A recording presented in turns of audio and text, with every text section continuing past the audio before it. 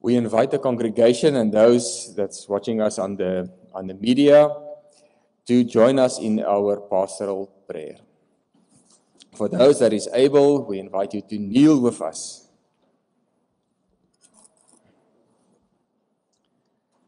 Our loving Father in heaven, we enter into your presence through this humble prayer to worship you as our creator. We thank you for health, for trust and for hope, for goodness and freedom, and especially for the gift of life. We thank you for the opportunity to be able to gather together in person and on the online platforms on this beautiful Sabbath morning, where we can share your peace with each other, having the assurance that we are protected by your almighty power and love. Thank you, Jesus, for the promise and the surety that you left with us before you ascended to heaven. Thank you for the promise that to every believer you give hope of everlasting life. You give us the power through the work of the Holy Spirit to transform our lives and the ability to prove what your good and acceptable and perfect will is. You give a purpose and a reason for each one of us to live, not just for now, but for eternity. All we have is a gift from your hand. Thank you for your presence in our lives, and through the Holy Spirit, we can be conscious of our actions that is in harmony with your will. We also thank you for the consciousness of sin in our lives, and we plead for your forgiveness. We will take a few moments to contemplate our, in our own lives and individually ask for forgiveness for our sins.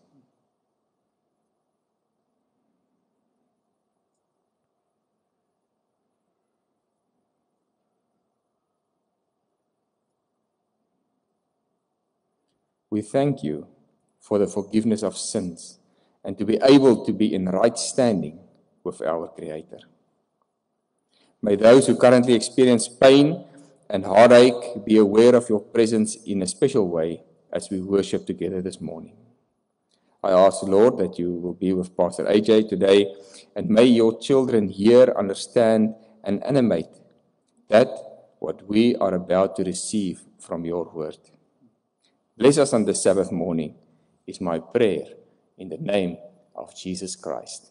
Amen. Kan ek ietsie vir jou sê?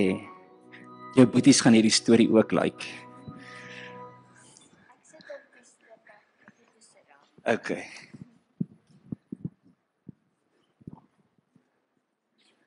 Good morning. Goeiemôre.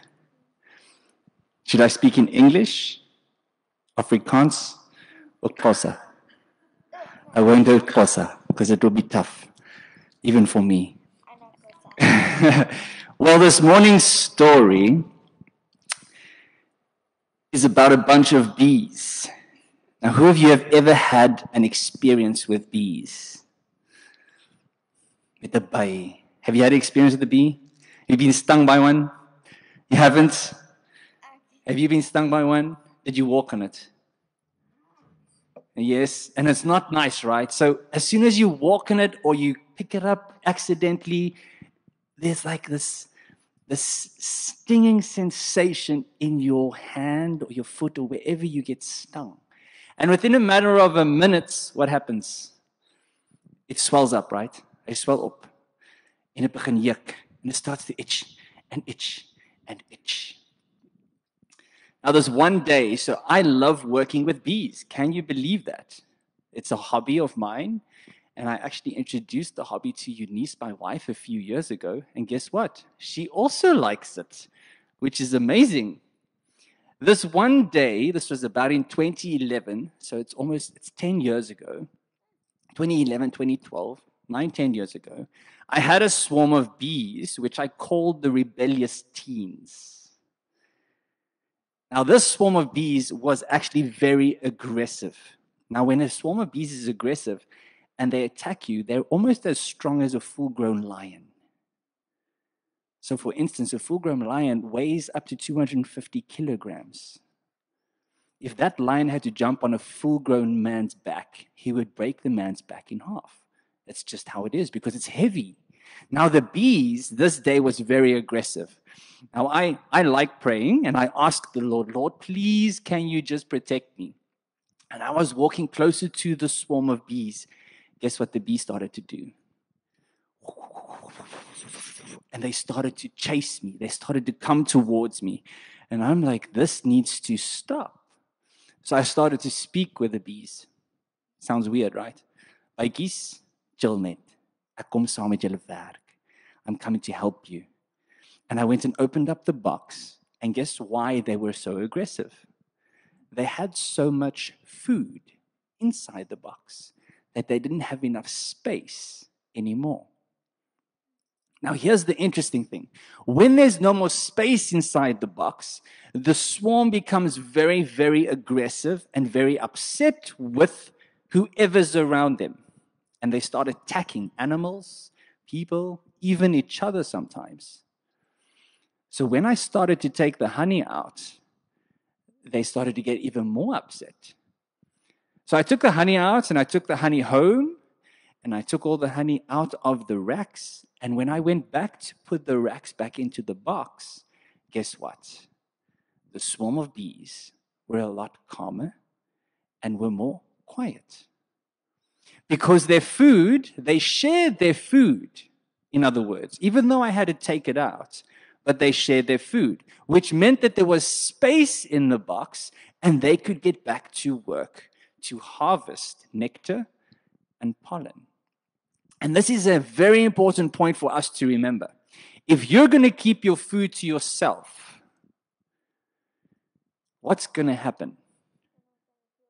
You're not going to feel well because you're going to have too much. And I'm not just talking about food, but I'm also talking about smiles because that is something that's good for us to share with other people. So if you're going to keep your smile to yourself, you're going to become very upset and actually depressed and down and sad.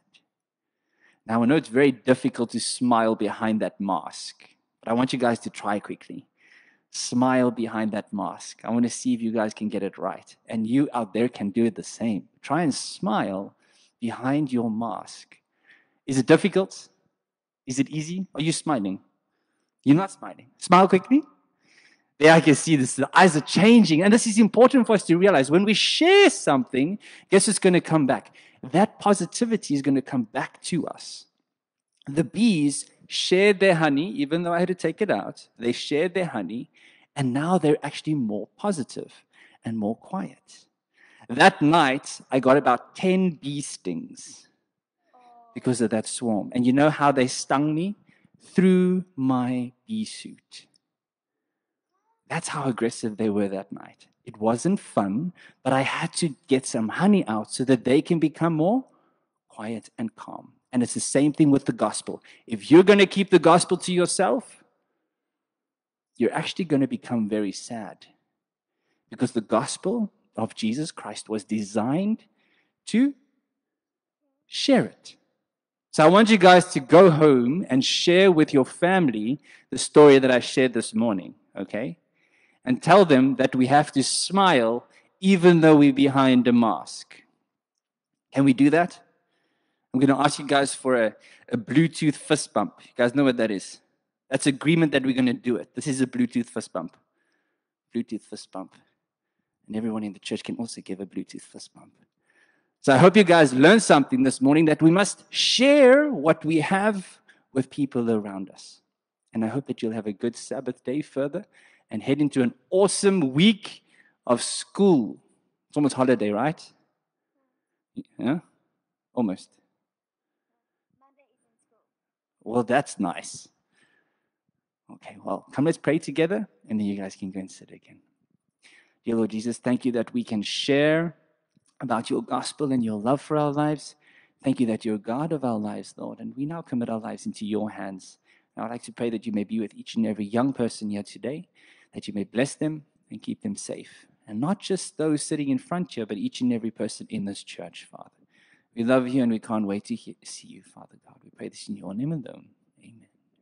Yes, that is true. To find a balance between COVID regulations and our need to bring our offerings and tithes to the Lord. We um, have two boxes available at the doors where you can place your tithes and offering in the door, at, at the door, in the box as we leave. Alternatively, we've got um, several electronic avenues for us to return our tithes and to bring our offerings. And like you can see on the screen there, with the banking details and the SnapScan option. I'm so happy I'm able to sing because then I'm allowed to take my mask off. Wouldn't you like to join me up front here? Then we can. Okay, no.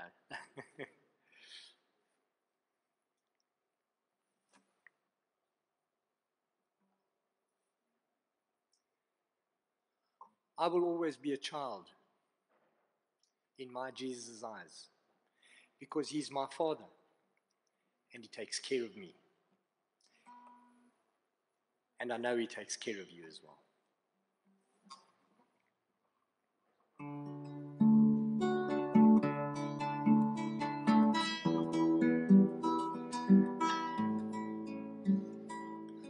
I was there when you drew the breath of life. I could hear your voice the first time that I cried.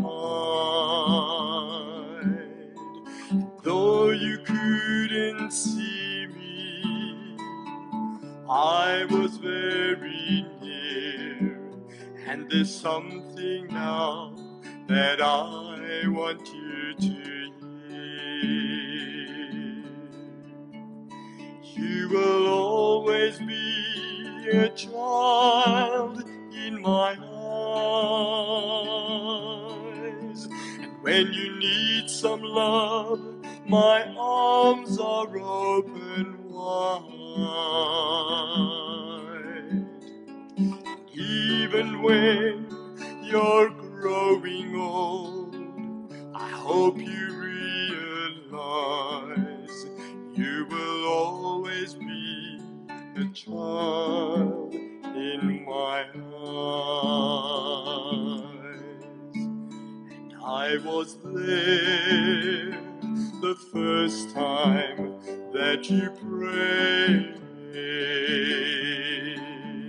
And I heard all the promises you made.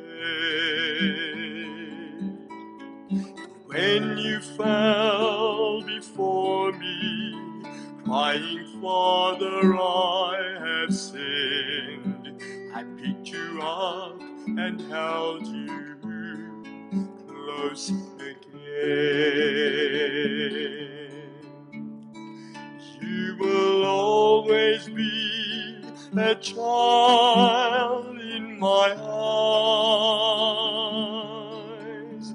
And when you need some love, my arms are open wide. And even when you're growing old, I hope you realize you will always be a child in my eyes. You will always be child in my eyes. And when you need some love, my arms are open wide.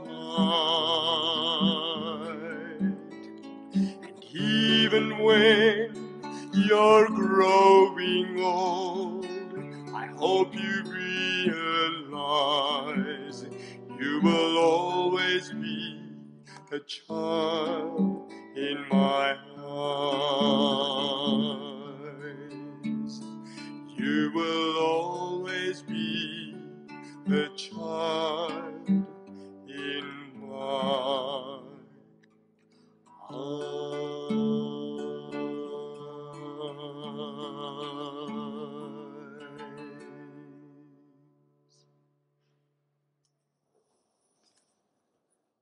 You can see, there is uh, hand sanitizer at the back here. just to make sure that everyone knows that we're following COVID protocols. But yes, good morning, welcome. I hope that you'll be blessed today. And I still want to see those smiles are pushing that mask up a bit. Let's close our eyes as we as we open or continue with our worship service. Father, we thank you that we have this privilege of being together this morning, Lord. We come to your throne of grace and mercy, and we pray that you may show us how stress in our lives and in our families can be relieved. We commit our lives into your hands, and we pray this in your name alone. Amen. So, I don't know if you've been following the YouTube channel. This is the fourth seminar slash sermon in the basic or the best advice for the family series. The first one, we looked at the Word of God, how the Word of God is actually part of the best advice, that we should be going to the Word of God. And today we're looking at how stress in the family can actually be relieved. Now, Bloomberg did a study many years ago, actually in 2016, and it came out that South Africa is rated the second most stressed country in the world. We can actually ask or answer the question why and how by many different factors. And I think we've experienced one of those factors this last week called Eskom, because it creates challenges with our work, with our daily lives, hoping that our fridges aren't going to pack up or our computer's going to blow up with the electricity surges coming back up on or stuff like that. But in an article last year, 23rd of April 2019, News24 and the City Press goes in, goes, or the City Press goes into finds SA is the second most stressed country in the world. Here's how you can cope. As stress becomes the chronic epidemic of our time, there is an overwhelming demand for strategies to manage the condition effectively.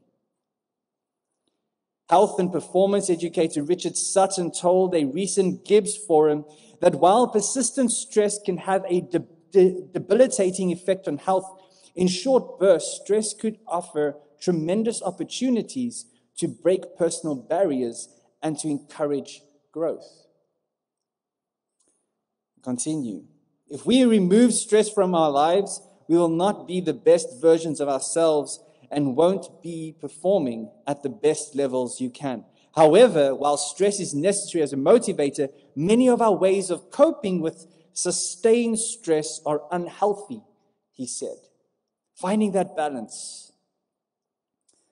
And the article continues to define what type of stress challenges we actually have and what causes stress. Now, I don't know about you, I've been, I've been experiencing stress over the last year, considerably more actually than prior to being locked down. Because now we don't have to travel from one meeting to another meeting, or one visitation as a pastor to another visitation, or one um, sermon or seminar or training session. You literally, at a click of a button, you're flicking through different meetings, and you find yourself on the computer between 10 and 12 hours a day. Screen time. We were always told prior to COVID, stop your kids from having too much screen time. Ladies and gentlemen, how did you cope in COVID by having your kids on screens with the schools permanently? Are you stressed out? Do you know why you're stressed out? Should you be stressed out? Turn with me to Mark chapter, chapter 2. And I'll be reading in verse 27 and 28. We could even start from 23. Mark chapter 2, verse 23 to 28. And it says, Now it happened that he went through the grain fields on the Sabbath, and as he went, his disciples began to pluck the heads of grain. And the Pharisees said to him, Look, why do they do what is not lawful on the Sabbath? But he said to them, Have you never read what David did when he was in the need and hungry, he and those with him? How he went into the house of God in the days of Abiathar, the high priest, and ate the showbread, which is not lawful to eat except for the priests, and also gave some to those who were with him. And he said to them, The Sabbath was made for man, and not man for the Sabbath. Therefore, the Son of Man is also Lord of the Sabbath. I'm stating from the beginning, this is not a, a completely an exegetical sermon, but these points point perfectly to the, the, the idea of how we can overcome our stress within life. And I think the simple answer is how much of God and Jesus Christ is in your life today? If we're stressed out on a permanent basis and we're not following the advice that God has given us through His Word, can we actually say that we're completely listening to what He's saying? We have to overcome the challenges of this, this life. And the only way we can do that is by going to Jesus and asking the Lord, Lord, show us the way of overcoming our stress. Now, it's interesting that we find ourselves as probably the second most stressed country in the world, which, which might start to make us realize what's happening in our lives. Why are you stressed? Are you tired today? Are you tired to such a degree that your, your mental state at the end of the day is like, man, I can't do this anymore? I want to give up. It's interesting that there's some advice of how to overcome stress is in the following aspects listen to music, call a friend. I guess in COVID, that's what we did. We called a friend, but we actually wanted to see them. We wanted to give them a hug. We wanted, we wanted to laugh with them. We wanted to go to a braai together. And we were like, Cyril said to us, You cannot do that. Talk yourself through it. I remember the one day my mother said to me, I'm sitting at home and she just hears a whole bunch of voices in the room. And she came walking in there, and guess who was sitting in the room? Me alone. Sy vra vir my my kind, wat is fout? Ek hoor net klomp geluide.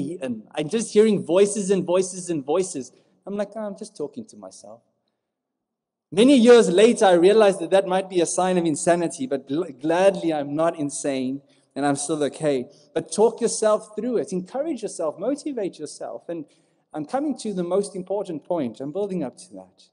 Eat right. Sometimes laugh it off, but remember that by laughing it off, you might be sweeping it under the carpet. A challenge, a stress. You've got to work through it. Another aspect was drink tea. And sit down, take that peace moment and say, you know what? Everything's going to be okay. You just got to get through this. Be mindful of the stresses that you find yourself and find in your life. Exercise, rest, sleep, breathe easy. And the final one is surrender your stress over to God. When we say this, the biggest question is how? How should I surrender my stress over to God? Is it as simple as just saying, Lord, I give you my problem right now? There it is. Amen. 30 seconds later, you're like worrying about that same point again. And then you're like, Lord, why haven't you taken the stress out of my life? It's a process. Now, the causes of stress, what would you say encourages stress in your life? And I want you to think about the things taking place in your life. What's causing stress in your life? It might be your work, it might be finances, it might be that you've lost a job. It might be a relationship that you find yourself in, and it's like, oh, this is creating a bit of chaos at the moment. It might be not being able to meet the needs of your spouse or your family, and that you might even have had a pay cut. Or you've been eating too much during COVID. Or too little. Not exercising enough. And if I look at what the Word of God actually advises us, Matthew 11, verse 28 and 29, he says, Surrender your life to me. Come to me, you are weary and heavy laden, and I will give you. Can I hear that word? Rest. Psalms 95, sing praises to God. So, so when you sing, I don't know about you, but it was, it was fun singing this morning. And I'm using fun in a very loose context because it's, it's encouraging to our souls when we sing praises to the Lord. I like singing in the shower and maybe on my own, but it's encouraging to my soul. You might feel like that you don't have a voice to sing, but sing those praises to God. First John 5, verse 14 to 15 says, Pray. Ask the Lord to comfort you when you're struggling with stuff in your life. Take that peace, put life on a pause. Psalms 119, verse 105 read the scripture. I find it that when I have a Bible in front of me and I can turn the pages, it's satisfying to my soul. Because these days, guess what we have? Digital. We can just scroll through, okay, find it, but it's not the same experience. And I'm seeing the young people today, they're on these things permanently. Did you guys, have you guys noticed that? Tablets, phone, and they're not just reading, but they're playing games, they're on Google, YouTube. A mother shared with me that a two year old can actually search Google for YouTube and find certain videos that they enjoy on YouTube. Two years old. How? No idea. Sometimes I even struggle to find these videos these days. Uncle Bobby, that means I'm getting old, right? Galatians 6 is another verse that I want us to shortly look at. If you have your Bible with you, Galatians chapter 6. And this, I believe, is why we have church. This is the center point of why we have church. And we're supposed to be doing this not just on a weekly basis, but on a daily basis. Brethren, if a man is overtaken in any trespass, you who are spiritual, restore such a one in a spirit of gentleness, considering yourself, lest you also be tempted. Bear one another's burdens and so fulfill the law of Christ. This is Galatians chapter 6, verse 1. I'm going on to verse 2. Verse 3, sorry. For if anyone thinks himself to be something when he is nothing, he deceives himself. But let each one examine his own work, and then he will have rejoicing in himself alone, and, and not in another, for each one shall bear his own load. Did you get that? Bear one another's burdens and so fulfill the law of Christ. If I notice that someone's stressed out, I can go and sit with them and say, Hey, how are you doing? Can I pray with you? And if I can support and help you, how can I do so? But here's the challenge we're all so stressed out that we're afraid to help someone else because they might place that burden on us, which means that we have to carry their burden with our burden, and then we become even more stressed. But here's the thing He says, You carry each other's burdens. So if I go to someone else, guess what that person's supposed to be doing back to me? Helping me out with my burden. And this is the concept of church. This is how it was supposed to be all along and permanently that we're here to support each other. I don't know about you, but sometimes it feels like that, that we're all alone in our little islands, doing our own little thing. Many years ago, before I met Eunice, I said to myself, You're on an island, my friend. You're never going to get married. And I actually said to the Lord, Lord, I'm going to remain on this island. I'm not going to allow anyone into this island, even friends. They're not coming onto my island. And I was, I was at bay. I kept everything at bay. And guess what happened? Eunice found a boat somehow to get onto the island. I'm still trying to figure out how she did that, but the Lord allowed her to get onto my island, and I found her on my island. And you know what? We share burdens. We share challenges. I have friends.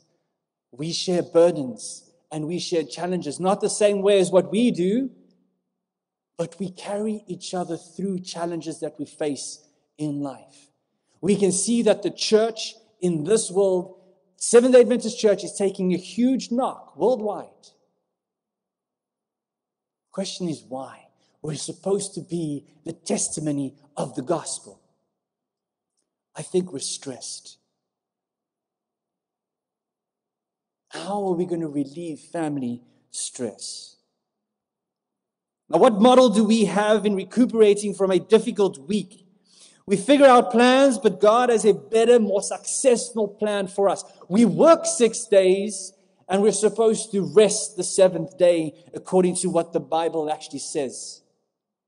I believe that's the model that the Lord has instituted for us to say, work six days and the seventh day you're relieved from your stress. And guess what? We try and make our lives so busy that when it comes to Sabbath, we're also stressed. Ladies and gentlemen, this day was made for us to rest. If you, by the end of the Sabbath day, are feeling stressed out, starting a new week, you did not rest that day. You've actually got to ask, Lord, what has happened in my life today that I'm tired and stressed out and I cannot go through the next week? Have I spent enough time with you? We need a solid relationship with God. It revolves around time, communication, and love. A relationship with God decreases stress in our lives. Furthermore, the day of rest is there to build our relationship with God. Now, God's advice and institute of the Sabbath day was specifically orientated around family. He created in six days, and guess what he told Adam and Eve would happen on the seventh day? You will rest. You will walk with me. You will talk with me. You will spend time with me. It's God's time. It's not our time. The Sabbath day is God's time. And if God has instituted a day of rest, why are we trying to make his time our time? And we try and fill the Sabbath day with so many different things that when it comes to the end of the day, we actually feel like we're more tired than what we started, but yet we still received the blessing. I'm not saying you should go home and sleep all day. Because I believe there's four aspects of the Sabbath. It's for fellowship, it's for worship, it's for sharing, reaching out, and then of course it's for rest. Genesis 2, verse 1 to 3 God institutes the Sabbath. Exodus 20, verse 8 to 11, he tells us to remember the Sabbath day and keep it holy. When last have you forgotten about the Sabbath? Now, I might be speaking to the converted here. But can we forget about the Sabbath by thinking we're keeping the Sabbath? I believe so. We can. Deuteronomy 5, verse 12 to 14, same thing. Isaiah 58, verse 13 and 14 defines what we should be doing on the Sabbath day. I'm going to read that in a short, short while. That's in the Old Testament. We come to the New Testament, the day of rest in the New Testament. Jesus kept the day of rest in Mark 1, verse 21 to 25, Matthew 12, verse 9 to 13. We can go on and on and on about how we're defining the Sabbath day and the purpose of the Sabbath day for our, our day-to-day lives. Remember the Sabbath day and keep it holy. Paul kept the day of rest. Acts 17, verse 2 and 3. Acts 13, verse 14. Hebrews 4, verse 9. Now, this is what I truly believe. And I think that the Word of God speaks this consistently in life. It's God's time. I want you to ponder on that concept. It's God's time. If it's God's time, He defines what takes place in His time. And where do we find that out? It's by having a relationship with the person. I've realized Eunice has her time, and she likes to do things in her time. And I've realized that I don't have space to disrupt her time. She's realized that I have my time. And you know what's funny? I love being in the garage. It's like my man cave. Know, her washing machine is in my man cave. I'm joking, it's our washing machine. I find it interesting that, that when God institutes time, He says, keep it holy, spend time with me. If we look at stress, how are you going to overcome stress? I hope that the first point that you're going to try and do is go to God and say, Lord, I'm stressed out. Please help me. Turn with me to Isaiah 58, verse 12 to 14. Isaiah 58, verse 12 to 14. So, this message this morning is to make you ponder on how you are going to overcome stress in your life. Isaiah 58, verse 12 to 14, and it says the following Those from among those from among you shall build the old waste places. You shall raise up the foundation of many generations. And you shall be called the repairer of the breach. You hearing that? The restorer of streets to dwell in. If you turn away your foot from the Sabbath, from doing your pleasure on my holy day, and call the Sabbath a delight, the holy day of the Lord honorable, and shall honor him not doing your own ways, nor finding your own pleasure, nor speaking your own words, then you shall delight yourself in the Lord. And I shall cause you to ride on the high hills of the earth and feed you with the heritage of Jacob your father. The mouth of the Lord has spoken. You will be called the repairer of the breach. If you turn away your foot from the Sabbath, from doing your own pleasure on my holy day. It's beautiful words. The repairer of the breach. Ladies and gentlemen, the world today is stressed out, they're worried, they're freaking out about what's happening around them, and they're looking for peace. And I find it interesting. The God has given us the gospel to share with all the world. And guess what the gospel goes and says? Come to me, you who are heavy laden, and I will give you rest. If the church is stressed out, how can we reach out to someone else? Now, we might be saying, we're also human. But I would like to encourage you to realize that God is on your side. Allow Him to come into your home and change your stress levels. Now, here's this. This is slotsom. Is it reg? Here's the summary three points. First of all, time. Second of all, communication. And third of all, love. If you want to decrease your stress in your family, ensure that you're spending time with each other, not on digital. I heard this last week on the radio. There's a, there's a, a, a company that, that started a, um, a brand. They call themselves Games for Brains. And the reason why they started this was that they realized that families are not spending time with each other. So they started to create games where families can sit around a table, talk with each other, and spend time playing games. We're not spending time with each other because we're rushing to this meeting and that thing, and, and life just passes. Second of all, communication. Are we talking with each other?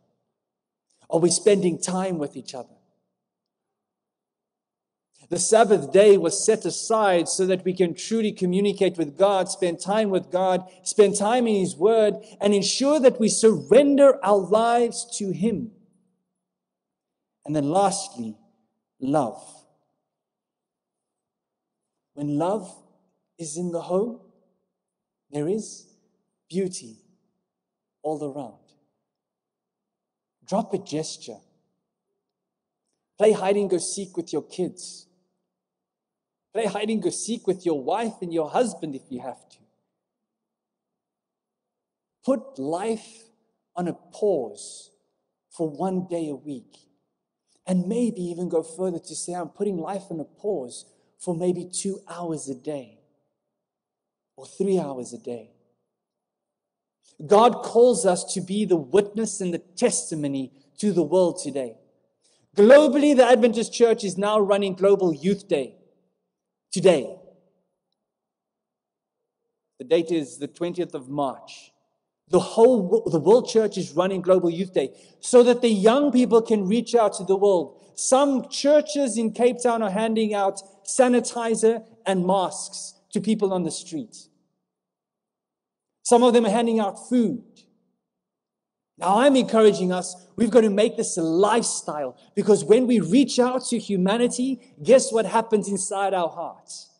We receive peace and rest, and God can continue to work with us. Let's love each other the way that He wants us to love Him and one another. May God bless you as you go through this week. And please remember that stress can kill you, but God can overcome that stress. Let's close our eyes. Father, we thank you that we can realize that by going to the Word of God, communicating with you, Lord, spending time with you, and understanding that the love of God is the center point of our lives, that you can help us overcome the stress levels that we find in our lives, Lord. In prayer, in study, and also in caring and sharing with each other the depth of your life within our lives. Thank you, Lord, for hearing us today. We pray this in your name alone. Amen.